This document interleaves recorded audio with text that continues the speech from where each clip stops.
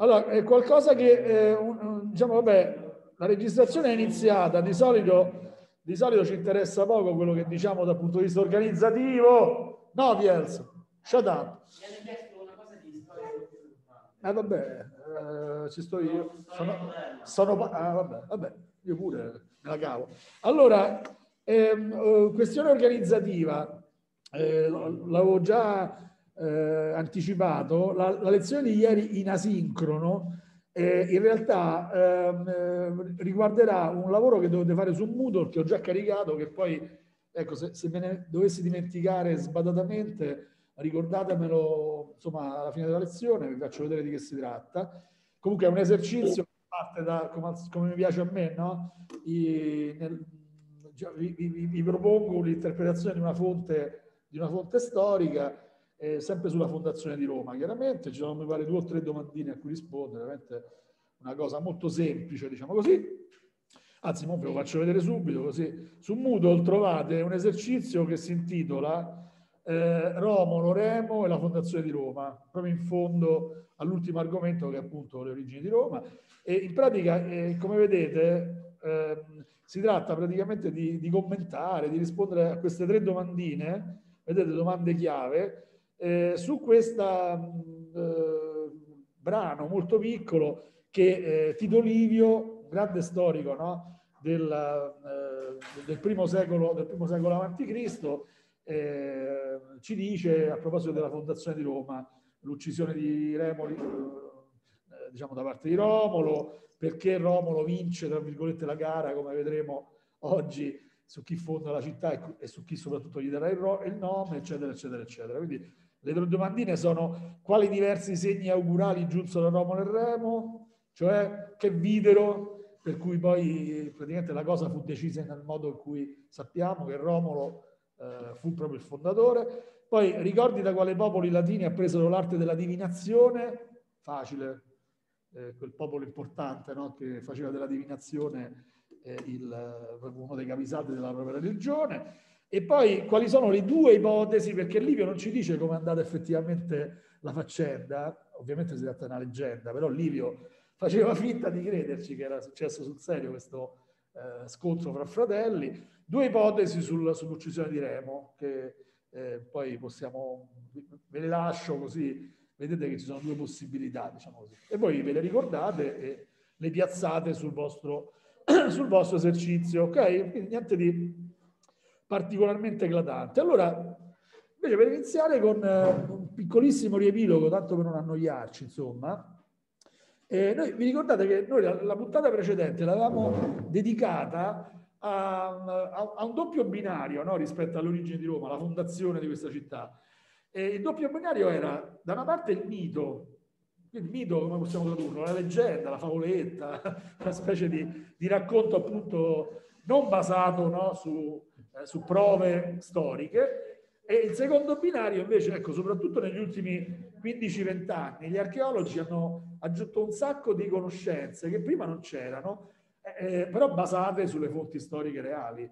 Fonti storiche, ragazzi, che sono di due tipi, no? Tanto per, per capirci. Oh, scusate, eh, sto, uh, sto dimenticando un particolare assolutamente importante per voi, soprattutto alla fine di aprile. Eh, io venerdì interrogo su queste cose, cioè su tutto quello che riguarda eh, in pratica il capitolo che il vostro libro dedica alla Fondazione di Roma, quindi orecchie ben aperte, soprattutto se dico una cosa che non vi è molto chiara, soprattutto rispetto alla, alla lezione precedente, ditemelo. Insomma.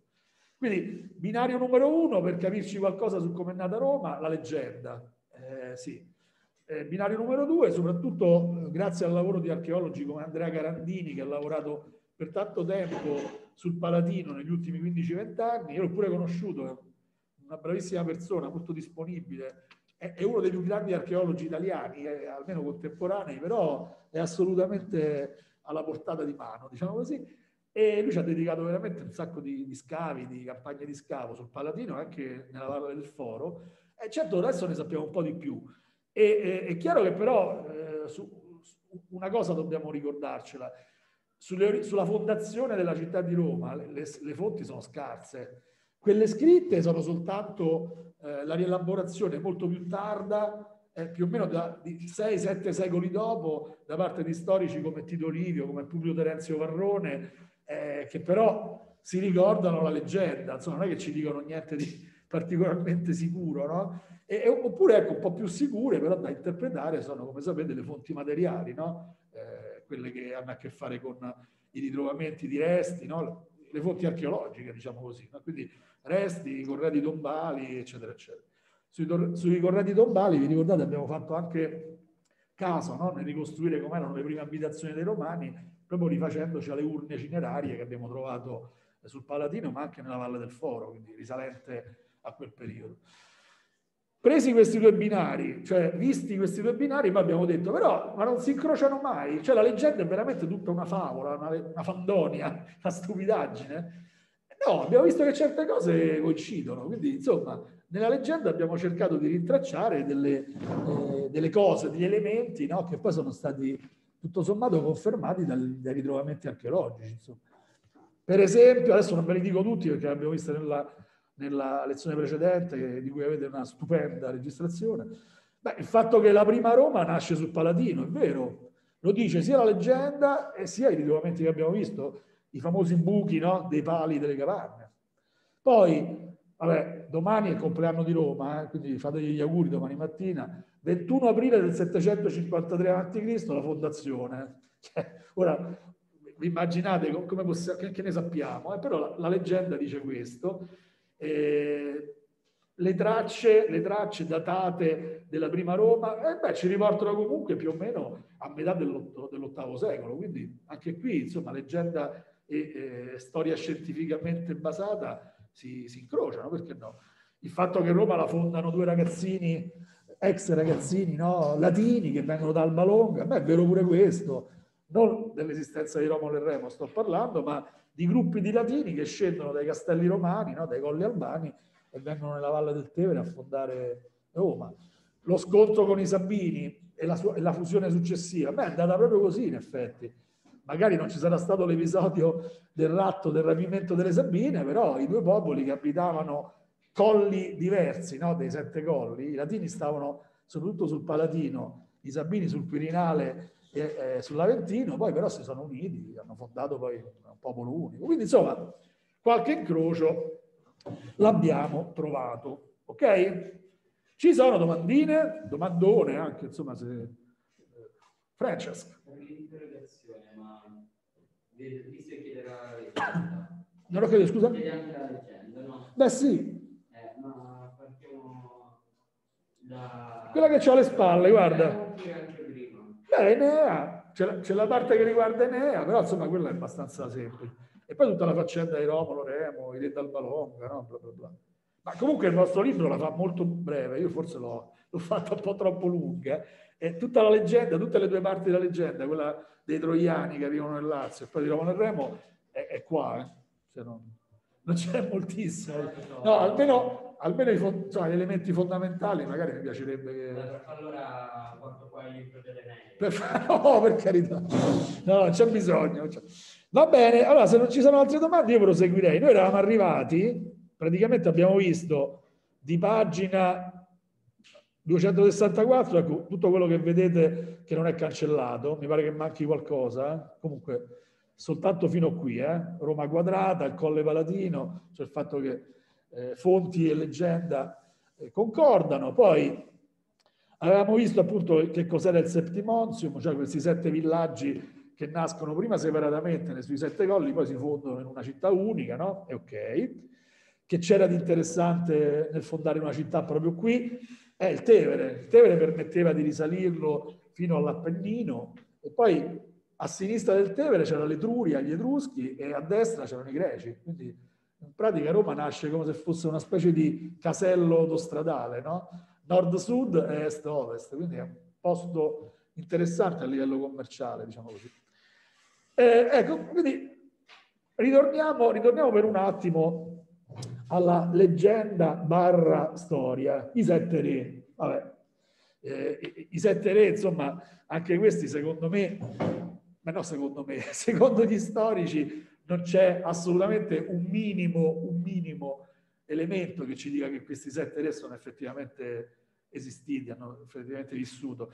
Tenete presente che la fase monarchica di Roma, come vedremo nelle prossime puntate, insomma, dura ben 200 anni, quindi dalla fondazione fino più o meno al VI secolo a.C.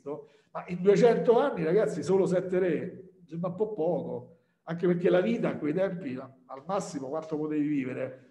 45-50 anni. Insomma, se fate un po' la divisione, eh, insomma, no, non ci so. E tuttavia la leggenda no, ci consegna proprio eh, i loro nomi, eh, iscrizioni, storie della fondazione del periodo monarchico molto successive, no, di Tito Livio, no, appunto ne parla.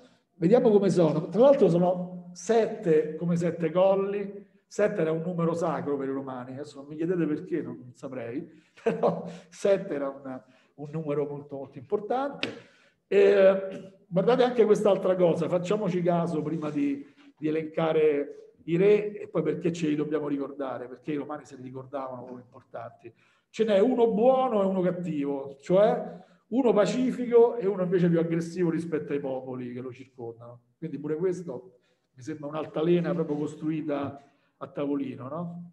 L'abbiamo detto perché i romani ci tenevano tanto a questa leggenda. No? Quando Roma diventa importante, prima in Italia e poi nel Mediterraneo, i romani dicono, ma è possibile che non abbiamo uno straccio di mito di fondazione della nostra città? E quindi si inventano questa, questa cosetta. Insomma. Bene, Romolo è stato il primo, no? primo re. Vabbè, sulla, sulle sue esistenze mi pare che ci abbiamo molti dubbi. In realtà lui governa, dopo aver fatto pace con i Sabini, con Tito Tazio, che era appunto il re invece dei Sabini. Quindi immaginate più che una monarchia, una diarchia, no? un potere di due, però sempre un potere che vede questi due signori come re praticamente. E dopodiché, dopo la morte di Romolo, vi ricordate, il vostro libro non ve lo dice, però una specie di assunzione in cielo, no? da vecchio passeggia sul Quirinale, che era pieno di una, di una grande foresta di querce, eh, o un fulmine lo, lo, lo, prende e se lo porta nel cielo, oppure un'aquila gigantesca, Zeus probabilmente, anzi il romano Giove, lo porta fra gli dei. E da lì in poi lui diventa il dio Quirino, quindi Romolo viene divinizzato dopo la sua morte, ma fa parte della favola tutto questo. Il, il prossimo dopo Romolo, quindi, eh, quindi, Romolo fa parte dei sette, no? Numa Pompilio, Numa Pompilio tra l'altro era Sabino, eh? quindi insomma, eh, a lui la, la, leggenda dice va attribuita la, fondazione del sistema religioso romano, che in fondo è una specie di calco di quello greco, eh? Zeus Giove, Era Giunone, no? quindi Atena, Minerva, Ares, Marte, li ritroviamo tutti quelli che conoscevamo, che conoscevamo in Grecia. È buono, il Numa Pompilio come buono, aggressivo? No, no, è buono, è, insomma, è quasi una specie di super sacerdote. Si inventa anche il primo calendario no, che segna il tempo a Roma. Ovviamente, ripeto, sia i nomi dei re sia le loro gesta sono tutte inventate. Tullo Ostilio, è latino questo. Ostilio, beh, hostes, no? che significa nemico. Tullo Stilio è, uno, è un re guerriero invece che comincia, perdonatemi il brutto termine, a rompere le scatole a eh, conquistare le popolazioni appena appena circostanti a Roma. Poi uno che ci dovrebbe essere molto caro, un altro Sabino, vedete anche l'alternanza un latino, un sabino, un latino, cioè sembra costruita, no? E Anco Marcio o Anco Marzio, come volete, è, è quello che si inventa Ostia, no? quello che fonda la prima colonia romana proprio alla foce no, del Tevere e soprattutto eh, sul mare, no? il fondatore del porto di Ostia. E poi a un certo punto succede qualcosa. Ci sono una, una serie di re etruschi, secondo la tradizione. Tarquinio Prisco, Servio Tullio e l'ultimo Tarquinio il Superbo. Eh, come mai Tarquinio, no? dal nome di Tarquinia, che è una delle grandi città etrusche, come abbiamo visto, e probabilmente anche qui c'è qualcosa di vero. E il solito Andrea Garandini, che si è molto divertito in questi anni a esplorare le prime fasi della storia di Roma, ce l'ha detto, l'ha dimostrato. Cioè, Roma più o meno dal VII secolo in poi vive per, un, per circa un secolo sotto la dominazione etrusca o quantomeno subisce l'influenza del, della civiltà etrusca in maniera forte. Questo spiega, spiegherebbe come mai anche la leggenda dice che gli ultimi tre re romani sono stati di origine etrusca, non più latini o sabini, quindi locali, ma venivano da fuori. Strano, no? Eh, qui i romani sono poco campanilisti, diciamo così. E però attenzione perché, leggenda o meno, ecco per esempio eh, Servio Tullio, la leggenda dice costruisce la prima cerchia di mura eh, vere, no? di pietra della città, e sotto i re etruschi comunque Roma fa il grande salto di qualità. Qui permettetemi di farvi vedere delle cosine. Eh, quindi, ok, questi tre re etruschi sono esistiti? Direi, credo proprio di no, e però la dominazione etrusca su Roma in periodo monarchico c'è stata, tanto che gli etruschi addirittura erano capaci di imporre dei sovrani loro qui a Roma. Quindi Roma è come se fosse, fosse stata inghiottita no? dalla civiltà etrusca. Eh, che ci lasciano gli etruschi? Beh, un sacco di bella roba. Eh? No, questo non ci serve. Allora, beh, intanto le mura serviane. Questo è un plastico della Roma di quel periodo, vedete, da, dal colle Palatino e Campidoglio, insomma, si è molto estesa anche qui sotto. Ecco, questo, questo circuito qui di fortificazioni di mura sono le mura serviane, proprio perché Servio Tullio, vabbè, se ci piace ricordarci questo nome inventato, a, a lui viene attribuita la costruzione di questa prima cerchia di mura eh, vere e proprie. Diciamo che con gli Etruschi, tanto per, per capirci, Roma fa il salto di qualità, ah, ma allora questo eh, da villaggio, diciamo così, o quantomeno da insieme di villaggi a una vera e propria città-stato sul modello, sul modello greco. Quindi, eh, tra l'altro, se ci pensate, no? provateci a, a, vedere se il modello regge. Anche a Roma c'è un'acropoli, no? Eh, il Campidoglio. In Campidoglio, vedete, gli Etruschi costruiscono questo popò di tempio in terracotta e legno, che è il tempio di Zeus Capitolino, appunto, di Giove Capitolino è il primo tempio in muratura che appunto grazie alla dominazione etrusca viene, costruita, viene costruito proprio sul colle del Campidoglio. Eh, anche questo no, fa assomigliare adesso Roma alle polis greche. L'Agorà, Roma dove ce l'aveva? Beh, nella Valle del Foro. Valle del Foro che i greci bonificano. Eh, vi ricordate qual è il problema della prima Roma? No? Il Tevere che tracima spesso e rende paludose le, le zone più basse. No? Per questo i primi insediamenti stavano belli in alto sui colli. Eh, gli Etruschi dicono, ma che spreco, tutta questa bella pianura fra le colline, asciughiamola, no? E diciamo così, creano, un attimo ve lo faccio vedere, una cosa che ancora funziona, un tunnel sotterraneo che parte dalla Valle del Foro arriva al Tevere scarica, scarica le acque, le acque stagnanti. È la famosa cloaca maxima, cioè fognatura grandissima, grandissima, come dissero i romani. Guardate questa roba qui, questa è una fotografia di oggi, eh? ancora la cloaca maxima, oddio, è piena di topi grossi così, però è ancora visitabile e funziona per le acque, per esempio, non di scarico delle, delle abitazioni, ma per le fognature che eh, in quella zona, diciamo, tra Testaccio e, e l'Aventino, il Foro, eh, diciamo così, raccolgono le acque piovane, funziona, vedete, addirittura e c'è, e c'è ancora oggi, se, se, vi avventurate, se vi avventurate eh, verso, un attimo, devo trovarlo, no, no, no, mi sa che è questo, niente, questo, vuole, questo vuole, vuole partecipare a tutti i costi.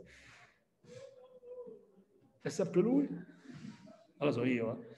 Se vi avventurate, ecco qua, eh, sul ponte d'Estaccio vi lasciate alle spalle il centro di Roma e lo percorrete in direzione della piramide, della piramide di Caio Cestio. Mi spiace che se passeggiate le avrei volute fare volentieri insieme a voi. Proprio sotto il ponte è visibilissima l'uscita delle acque della, della cloaca Maxima, che sbocca ovviamente dentro il fiume Tevere. No? Quindi, ecco, come? No, no, ma è abbastanza grossa, eh? quindi non è un cunicolo, eh? Adesso è una galleria vera e propria, quindi gli Etruschi costruirono in maniera, come dire, efficace questa, questa grande fognatura, cioè anche in presenza di alluvioni, no? di eh, piogge torrenziali, del Tevere che si ingrossa, questo porta via, porta via l'acqua dalla, dalla, Valle del Foro. Insomma. Quindi, insomma, basterebbero queste tre cose, no? Aver reso accessibile la Valle del Foro, eh, aver appunto eh, costruito il primo tempio importante della città e, le mura per, per, dire grazie ai Etruschi. Oh, la leggenda dice che eh, la, eh, la monarchia finisce, qui il vostro libro non ve lo dice, ve lo dico io, la monarchia finisce con Tarquinio il Superbo. Vedete che la leggenda già gli appiccica una, un'etichetta poco gradevole, no? Il Superbo. Eh, Come è andata, secondo la leggenda? Il figlio di Tarquinio il Superbo stupra un'aristocratica romana, una, una patrizia romana, poi vedremo che cosa significa patrizia, e eh, è sicuro di avere l'impunità, tanto comandiamo noi etruschi, no? In realtà eh, i nobili romani, anche la plebe, cioè il popolo romano, si ribella e caccia via sia il, il figlio di Tarquinio che Tarquinio stesso. E dice la leggenda, da qui in poi Roma diventerà una repubblica, non ci sarà più un, uh, un re. Come sarà andata, ragazzi? Se vogliamo interpretare pure questa cosa, ma probabilmente Roma si, libere, si, libererà, si sarà liberata no? della dominazione etrusca, un po' perché i romani si ribellano a questa dominazione, e un po' perché anche gli etruschi, in concorrenza con i fenici e i greci che stavano da queste parti, forse subiscono dei colpi no? a livello militare, a livello economico, quindi praticamente lasciano Roma e Roma ridiventa indipendente e autonoma. Forse è più credibile questo, cioè la storia dello stupro, no? della, della, violenza carnale rispetto a, a, a Lucrezia, no? come, come, vedrete, non, non, avrà probabilmente nessun tipo di, eh, insomma, di, di verità. Insomma. Quindi sappiate che a un certo punto la monarchia finisce con Tarquinio il Superbo, ma non si sa, e, e Roma diventa repubblica. Quindi vedete, siamo costretti pure oggi a fare un po' lo slalom, no? Ecco, il vostro libro pure vi dice quello che vi ho detto io, vedete la dominazione etrusca come eh, tutto sommato un fatto positivo per Roma, no? diventa una città vera e propria. E invece per finire, tanto per non lasciarvi da soli, eh, c'è una cosa molto interessante, no? che eh, anche questa ci costringe a fare un po' di ping pong fra eh, leggenda e verità. Ma sta fondazione di Roma, no? ve la ricordate com'è andata? No? Eh, ha seguito una specie di, eh, noi non lo sappiamo, non lo sappiamo fino adesso, ma ha seguito una specie di falsariga, di vero e proprio rituale che i romani ereditano dagli etruschi. Quando gli etruschi fondavano una città, eh, gli è successo parecchie volte nella loro breve ma intensa storia, seguivano una serie di eh, azioni, prima di tirare su insomma, le case, le mura, eccetera, che i romani poi presero dagli etruschi stessi. Allora, esempio, c'è, c'è Catone il censore, eh, questo eh, come vedete eh, anche lui è molto molto posteriore, successivo alla vicenda della fondazione di Roma, che ci dice questo racconto, no? ci racconta questa storia. I fondatori di città aggiogavano un toro a destra, una vacca all'interno, vedete questa immagine che abbiamo richiamato più volte, e cinti secondo il rito gabino che è sto rito gabbino? Gabbi era una città etrusca, quindi il rito che si era inventato, eh, che era stato inventato dagli etruschi a Gabbi, cioè con il capo parzialmente velato dalla toga, tenevano il vomere inclinato affinché tutte le zolle cadessero all'interno e tracciando il solco in questo modo delimitavano il luogo delle mura sollevando l'aratro quello delle porte. Cioè che facevano? Eh, Vediamo prima di arrivare a questa scena, no? alla scena del, del, tracciare praticamente attraverso un aratro no? eh, il posto dove devono sorgere, le, le linee dove devono sorgere le, eh, le, mura della città. Che si doveva fare per fondare una città? E guarda caso la leggenda di Romolo e Remo ci dice la stessa cosa. Ma intanto scegliere il luogo, ma questo è ovvio, no? Dove la vogliamo costruire? E eh, ci rendiamo conto che questo è un buon posto. Poi attenzione, eh, la, cosa, la, cosa, che ci dice eh, la leggenda di Romolo e Remo, l'auspicium, cioè dobbiamo cogliere no, un segnale, un segno, un parere delle divinità che è favorevole a che noi costruiamo quella città. Eh, ma scusate, ma Romolo e Remo, no? Romolo e Remo sbaglio o l'avevano fatta questa cosa? Sì, in fondo erano due, no? Tenete presente, questo è il sito di Roma quando Roma ancora non c'era, no? Secondo la leggenda. Allora, Romolo si mette sull'Aventino, vedete, eccolo qua, ok? C'è un occhio, la posizione di Romolo. Remo si mette su quella che oggi è una collinetta vicino all'Aventino che si chiama San Sabba, il quartiere di San Sabba, e dicono, eh, darà il nome fra noi due eh, a questa città che dobbiamo fondare chi ha vista più avvoltoi, che forse portavano anche male. Allora, qui, qui, come leggerete dalla fonte che dovete interpretare, c'è subito una, una specie di pasticcio, nel senso che, vedete, gli avvoltoi avvistati da Remo erano sei, eh, sei che volavano informazione, no? E allora a questo punto Remo dice, ah, l'ho visto io per primo, sono sei, mentre annunciava sua, il suo avvistamento, però Romolo ne ha vista 12. Beh, c'è partita, però chi vince? Chi li ha avvistati prima o chi ne ha avvistati di più? E vabbè, eh, Romolo, forse un po' più prepotente, diceva, ah, faccio io la città. E guardate però, adesso a prescindere dalla, dalla favoletta, eh, l'auspicium, eccolo l'auspicium, cioè l'arte del capire che cosa vogliono da noi gli dei, se sono contenti di quello che stiamo facendo, vedete che lo ritroviamo eh, dagli Etruschi, passa dentro la leggenda di Roma, no? Chiaramente. Dopodiché, che si fa per fondare una città? Eh, guarda caso, Roma fu fondata secondo questa regola del gioco.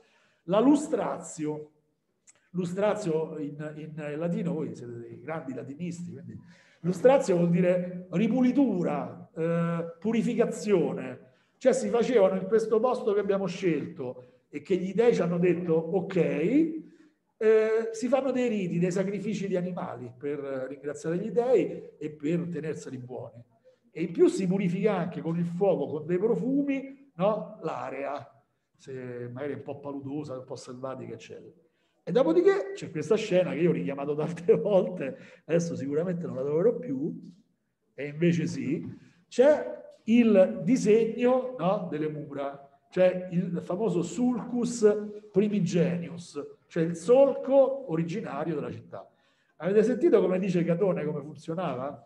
Cioè eh, si acchiappava un vomere Ecco, immaginate un aratro di questo tipo, tutto in legno, con la punta in metallo, ma solo la punta. Qui venivano aggiogati, vi ricordate, no? Adesso mi ricordo se la mucca all'interno e un bue all'esterno, che tiravano un po' da motore.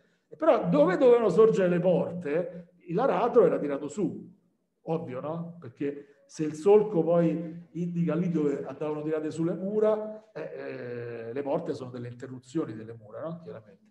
E, eh, chi lo fa, eh, guardate qui c'è gente addirittura con la toga, dei sacerdoti praticamente. E guardate che Romolo eh, viene eh, spesso raffigurato mentre fa questa operazione con una specie di toga sulla testa, no? sta facendo eh, un atto sacro e quindi ha bisogno di questo, di questo modo di, di porsi, insomma, di presentarsi.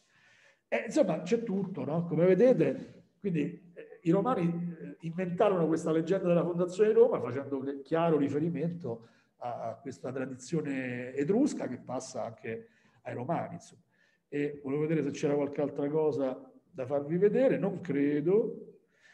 Ecco, vedete, immaginate Romolo, Romolo così, o, chi, o, chiunque fondasse una città tra gli Etruschi e i Romani, eh, che eh, abbastanza faticosamente maneggiava questo vomere, no? Naturalmente.